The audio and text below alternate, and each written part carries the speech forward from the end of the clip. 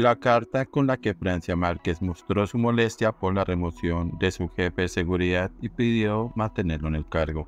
El teniente coronel Jorge Enrique Hurtado Bermúdez era el jefe de seguridad de la vicepresidente y ahora será investigado por el supuesto incremento injustificado en su patrimonio.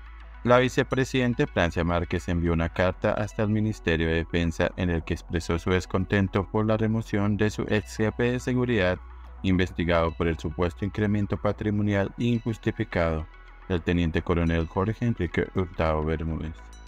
De manera atenta le informo que por medio del señor teniente coronel Jorge Enrique Hurtado Bermúdez, coordinador de protección vicepresidencial, he sido informada que le fue notificado el llamamiento a calificar servicios mediante correo electrónico, situación que debió ser manifestada previamente a la suscrita a través de su despacho, con el fin de prever su relevo, manifestó Márquez es que Hurtado Bermúdez ahora deberá explicarle a las autoridades el incremento patrimonial que hasta ahora parece injustificado.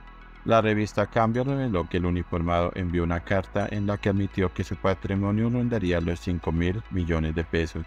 Una fuente anónima indicó que ese aumento estaría vinculado supuestamente con que el ex oficial cobraba sobornos por dejar pasar cargamentos de droga hacia el exterior.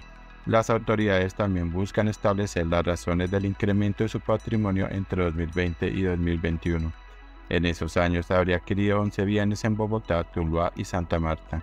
Pese a las pruebas y los señalamientos que han salido a la luz pública, la vicepresidente pidió mantener en el ejercicio de sus funciones al teniente coronel de la policía.